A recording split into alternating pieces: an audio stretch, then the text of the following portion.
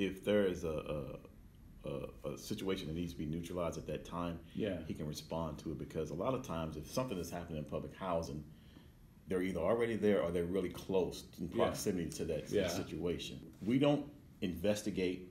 We have engaged in, in activity as far as um, you have a suspect with a gun out there, out out in the They can, if there's a suspect with a gun, You have to respond to that. You have y- to. your engage. guy can pull a gun and defend Yeah, defend You have to right? engage. Yes, Okay. you have to engage. Yes, yes. That's what I call engaging in a in a criminal aspect that's already transpired at that time there. Okay.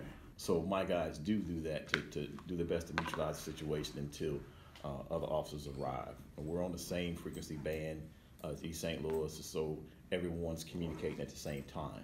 Uh, definitely for any kind of arrest, we have to write a report for. Yeah. Uh, because the you know state's attorney's office, we write tickets with that. Yeah. Citations, and you have to respond to those citations when they call and someone wants to dispute that citation in court. So we have to have a report to correspond with that uh, actual incident.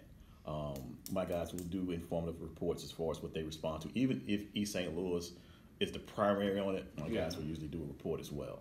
According to who you ask, we have a lot of surveillance, and we don't have a lot of surveillance.